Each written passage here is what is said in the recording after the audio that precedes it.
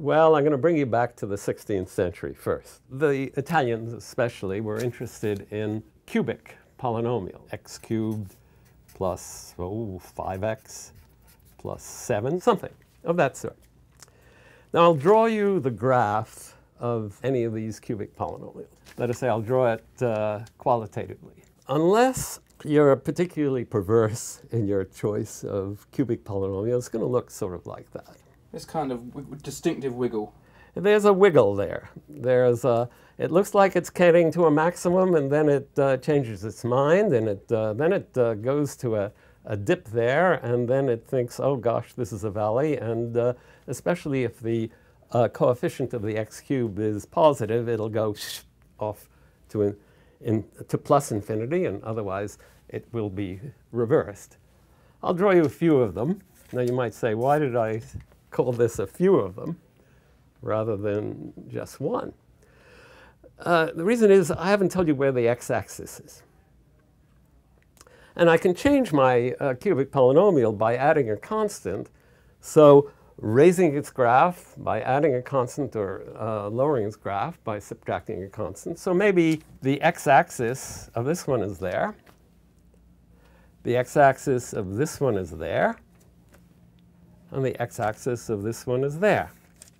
Now, once I have told you where the x-axis is, I can tell you when this polynomial is 0, at least graphically. Because the zeros of this cubic polynomial will just be where its graph intersects the x-axis. So this one has only a single 0 there. This one has only a single 0 here. And this one has three of them. These would be the solutions of the equation. Uh, for example, this one, uh, we would have to figure out which of these three it is, but it doesn't matter.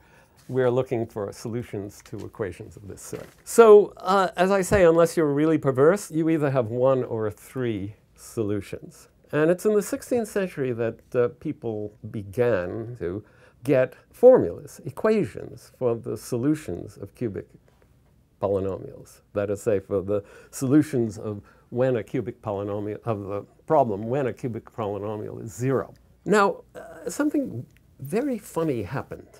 You'd think this guy has three solutions, so it must be easier to find them because there are three of them rather than these two, which have only one. But it's quite the reverse. The equations that lead you to uh, a solution for either of these two are, well, they're a bit of algebra, but a, bit of algebra that's perfectly um, happily in the sort of mental theater of the 16th century people. This one was a weird, weirdie. It was weird. Uh, and in order, to, in order to solve this, these are real numbers. So all you have to do is work in real numbers. Uh, this one too, you work in real numbers and you get the solution. For this one, something very funny happens. I need another sheet of paper. You can have as many. This is the toughie. And now for this one, of course, the equation for this is real numbers. The solutions, there are three of them, are real. And in order to pass from the cubic equation to the solution, you have to uh, do um, various things. And what uh, seemed a little perturbing, and very, in fact, very perturbing to the 16th century people, was this passage. You'd have to pass through a region which seemed to be out of the, as I want to put it, out of the familiar mental theater of the mathematicians of the time, let us say imaginary numbers or complex numbers. I'll say imaginary. The mathematicians were perturbed, but not that perturbed. And uh, the first um, uh, recorded uh, instance of clear perturbation that I know is uh, around 1545, Cardano who had to use a certain imaginary numbers. In fact, he had to use the numbers 5 plus the square root of minus 15 and 5 minus the square root of minus 15 in order to uh, solve his equation or to, to, to deal with uh, uh, this uh, issue that he writes. Dismissing mental tortures and multiplying 5 plus the square root of minus 15 times 5 minus the square root of minus 15, you get, and he tells you how to do it, UL, the 5 times 5 is a 25. The square root of minus 15 times the 5 cancels the minus square root of minus 15 times the 5. The fourth term in these cross terms that you have to consider is the square root of minus 15 times uh, minus the square root of minus 15, which if you work it out is 15. And so you get 25 plus 15 equals 40.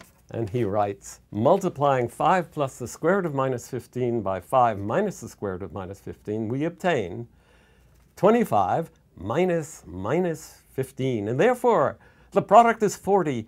And thus far does arithmetical subtlety go, of which this, the extreme, is, as I have said, so subtle that it is useless. Uh, he's saying that he hasn't yet uh, gotten into his uh, mathematical repertoire this strange creature, the square root of minus 15, or um, complex numbers in general, and yet certainly has an intense understanding that we had better begin to deal with it, despite the fact that it may be subtle and useless.